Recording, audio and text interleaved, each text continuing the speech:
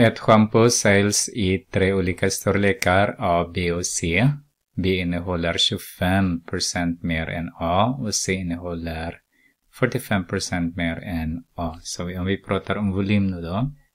Vi säger A är X. B är ju 1,25x. C är ju 1,25x 45x. Sen har vi eh, pris. A kan vi kalla priset för B är 10, mer, eh, 10 mer än A. Vi kan göra I. Och sen har vi det är bättre om vi, vi kallar den också ja, I då. Eh, B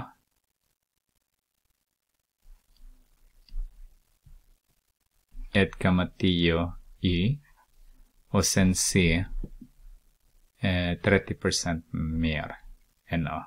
1,30 Y. Så har vi nu eh, jämförpris.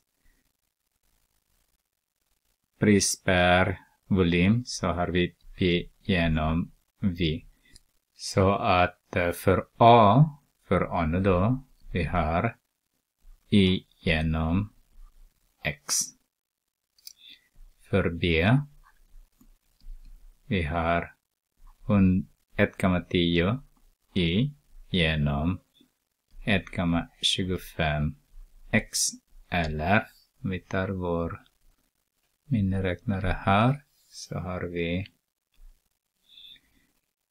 1,1 dividerat med 1,25 då får vi 0,88 x genom y.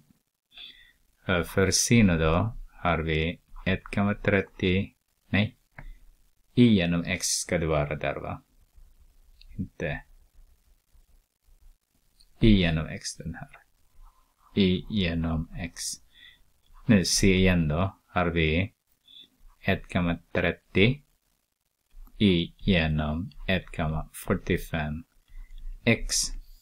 Så om vi räknar den 1,3 dividerat med 1,45 så får vi 0,90 cirka 0,90 0,90 i genom x.